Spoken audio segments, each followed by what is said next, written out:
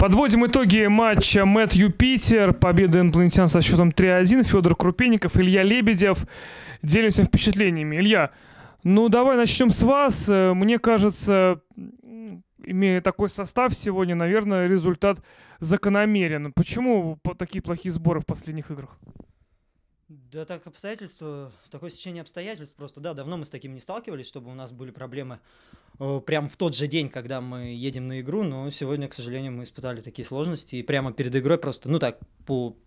Ну, обстоятельства так сложились, что не смогли там три человека сразу с утра, и вот пришлось опять Ване Соколову на травме брать с собой форму, приезжать, выручать нас, вот. Ну, не знаю, что еще добавить. Федя, ну ты расскажи, как настраивались э, после поражения от Золотого, как там Иван управлял, как-то вас мотивировал удаленно? Ну, Иван поехал отдыхать, что ему привет. Э, на самом деле настраивались спокойно. Э, главное было не дать сопернику играть в их игру, то есть подавить вот этот вот натиск, который, возможно, был в первом тайме. Хотя 90% владения мячом был на, были, ну, было у нас. И эм, не забили. Все, что было, не забили. Единственный момент, вот провал, обрез и все, гол. Во втором тайме разозлились, показали свою игру, показали пас. А, у нас в центре поля Паша Семиткин очень здорово сыграл. Ну и, соответственно, уже вся команда разозлилась, и результат на лицо, как говорится. Как отметишь игру Визави, мне показалось, что там второй и третий гол такой не очень обязательный. Ну, да, такие моменты, конечно. Там второй гол вообще, по-моему, я так не понял. Первый гол, конечно, там залетел, там вратарь ничего не мог сделать. А вот, а так, ну, он хорош сегодня.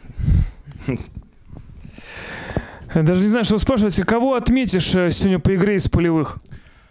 Паша Семиткин номер один у нас сегодня. Он все-таки центр а, и пас, и дриблинг связка Семиткин, Карпенко, Лозин, мне кажется, вот эта троица, она все-таки навела Шорохасе. И, соответственно, результат как бы нас устраивает. А в первом тайме, после первого тайма проигрывали 1-0. Э, как вот в перерыве прошел разговор? Да просто забыли про этот гол, настроились, разозлились, больше где-то подержали.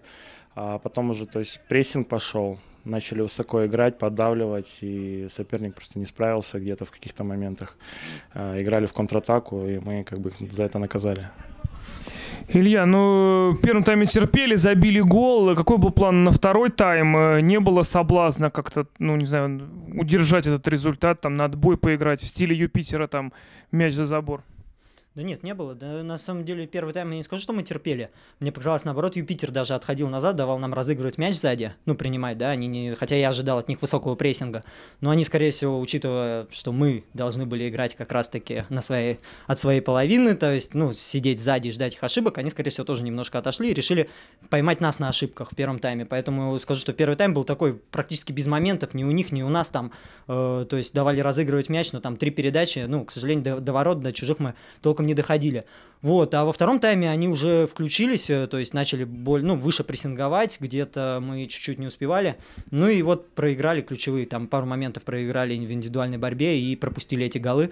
Если бы, может быть, не проиграли эти моменты, да, то есть э, счет был бы 1-0 в нашу пользу, ну, дольше, да, мы пропустили достаточно быстро в первом, ну, во втором тайме первый гол. Они бы, может быть, где-то занервничали, где-то, э, ну, игра была бы легче. А так они достаточно быстро отквитали этот гол во втором тайме, и уже у них игра, так сказать, пошла. Ну, закономерно победа Юпитера.